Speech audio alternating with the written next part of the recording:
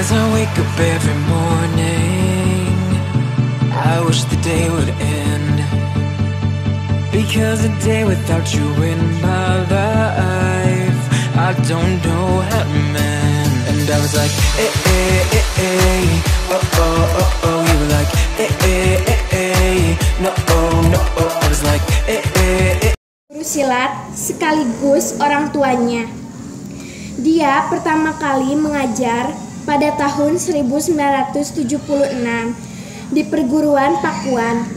Beliau pernah tampil di luar Jawa Barat seperti Jambi, Palembang, Brebes, dan Yogyakarta. Dia sangat banyak meraih prestasi. Dia juga pernah meraih kejuaraan di tingkat provinsi sebanyak lima kali pada tahun 1990 di anak didiknya. Beliau sangat disiplin dan juga sering berkomunikasi dengan anak didiknya.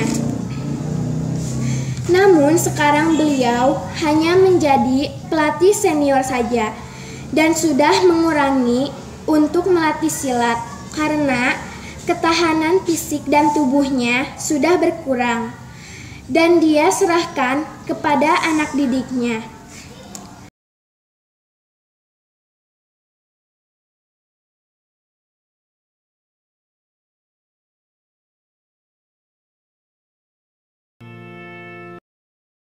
Kalau Bapak mulai berlatih usia 9 tahun ya. Jadi mulai belajar silat Bapak usia 9 tahun. Dan kalau mulai berlatih itu sekitar mulai tahun 90-an ya. Jadi kurang lebih sampai sekarang itu sudah hampir 25 tahun Bapak ngajar. Ya. Nah, itu adalah guru Bapak juga orang tua Bapak dulunya. Di halaman rumah. Ya, di, di, di, di halaman rumah. Dengan siswa kurang lebih hanya sekitar 20 orang awalnya. Waktu Bapak dari mulai berlatih itu Bapak pernah meraih tingkat juara kabupaten itu sampai empat kali tingkat provinsi sampai dua kali. Ya itu sekitar tahun 8 antara 83 sampai 86 ada alhamdulillah. Dan sekarang sudah Pak sudah semua hampir menjadi pelatih semua. Yang baik ya itu dibutuhkan disiplin latihan, kemudian rutinitas latihan dan istilahnya membutuhkan fisik yang sangat prima. Ya, untuk silat itu tidak bisa main-main karena membutuhkan fisik yang sangat kuat ya.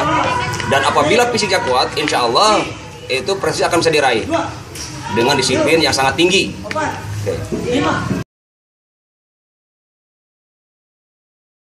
Pesan untuk anak-anak negeri ini, anak-anak bangsa ini, karena silat itu adalah seni bela diri tradisional Jawa Barat khususnya. Bapak harapkan untuk para anak didik atau anak-anak bangsa ini cobalah dikaji, cobalah dipelajari karena silat itu tidak didap, tidak bisa didapat dari negara lain.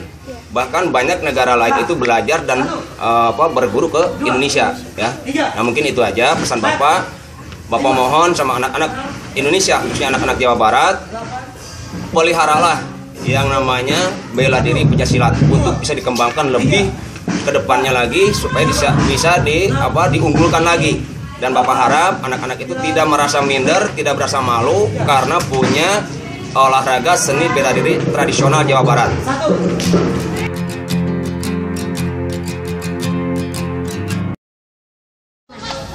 Eh, baik di rumah itu berternak eh, berternak ayam bebek eh, sama burung baik eh, suka Eh, ada ini kan anaknya Bapak Gunawan ya.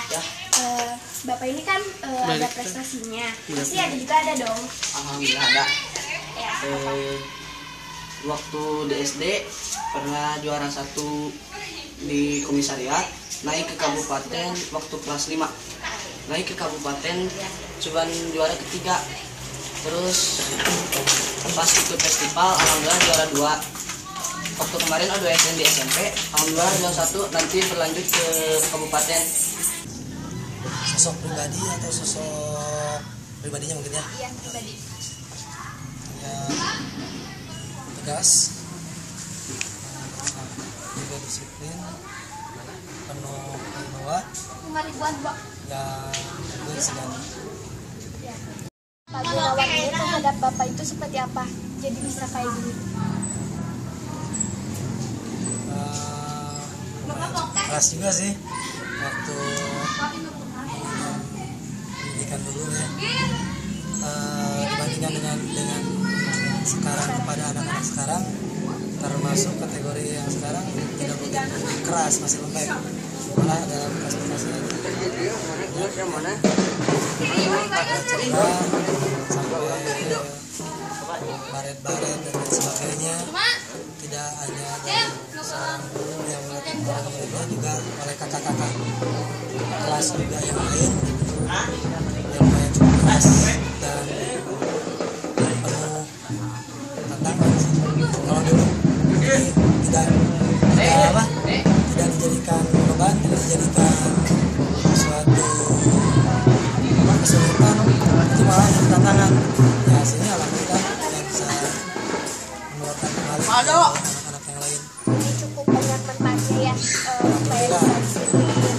disiplin tanggung jawab juga termasuk diri juga.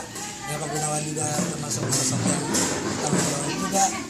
Misalkan waktu latihan ada kejadian pas waktu benturan tangan kontak cedera atau apa?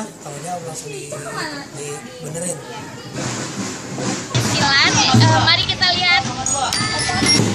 dua, tiga, empat, lima, enam, tujuh, delapan, sembilan oke Cima tambah satu ada tambah satu Kepada semua yang telah menyaksikan, saya Cindy Pradia pamit. Akhir kata, wabillahi taufiq wal hidayah. Wassalamualaikum warahmatullahi wabarakatuh.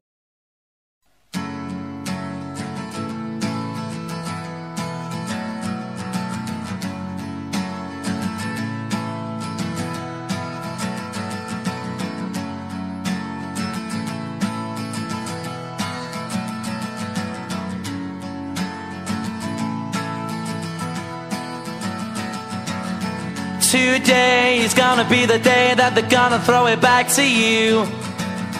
By now, you should have somehow realized what you gotta do. I don't believe that anybody feels the way I do about you now.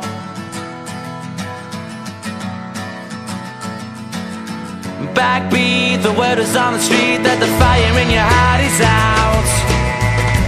Sure you've heard it all before, but you never really had it down.